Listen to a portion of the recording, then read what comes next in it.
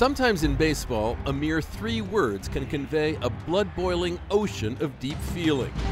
Infield fly rule, into left field, Bucky freaking Dent. For the start of a 12 step meeting, the saying goes, all you need is resentment and a coffee pot. For the aftermath of a wild card game, you don't even need the coffee pot. Seething anger? That's a given because while winning the one and done wildcard game spurs a sense of relief at best, seeing your team lose one is the bitterest of wounds, ready fuel for months of misery and what if anguish.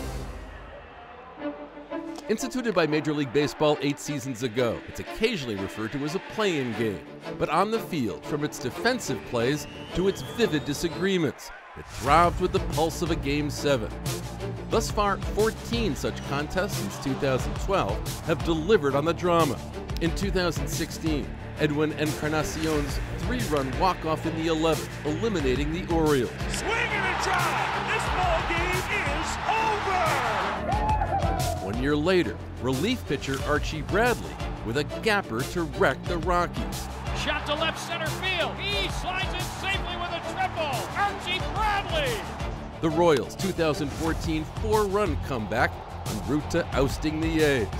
Swinging a ground ball to third, it's there, and the Royals win it. 29 years worth the wait.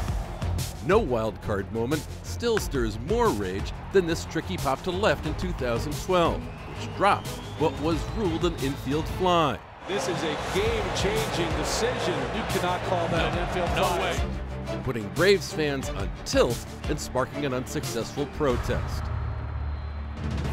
These games are diamond heirs to the single game tiebreaker battles like in 2007 when future Hall of Famer Trevor Hoffman needed just 19 pitches to blow a two run lead in the 13th and send his Padres home for the winter. And speaking of going home, the Red Sox serio comic collapse down the stretch in 1978 was made manifest in their one game AL East showdown by this Bucky Dent blast. Deep to left, Yastrzemski will not get his home run. A three-run home run for Bucky Dent. And by an October sun-blinded Lou Piniella's stab of a Jerry Remy hit to keep it from going for extra bases, thereby securing a 5-4 Yankees victory. Was there a little resentment in Boston afterwards?